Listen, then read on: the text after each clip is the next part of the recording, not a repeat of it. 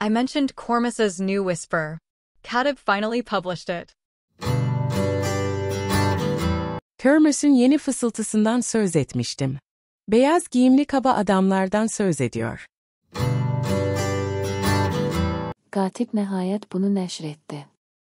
Ağ geyinmiş kobud kişilərdən danışır. Şaman Selenge'nin kehanetlerinin özgün hallerini görmek için kanalımıza katılın. Bunun için izlemekte olduğunuz videonun açıklamalar bölümündeki linki tıklayarak buradaki işlemleri tamamlamanız yeterli olacak.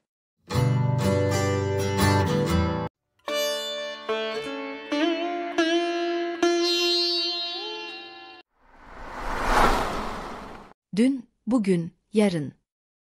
Kanalımızın haber sitesi zamanmekanmakinası.com hizmetinizde. Ziyaret etmeyi unutmayın.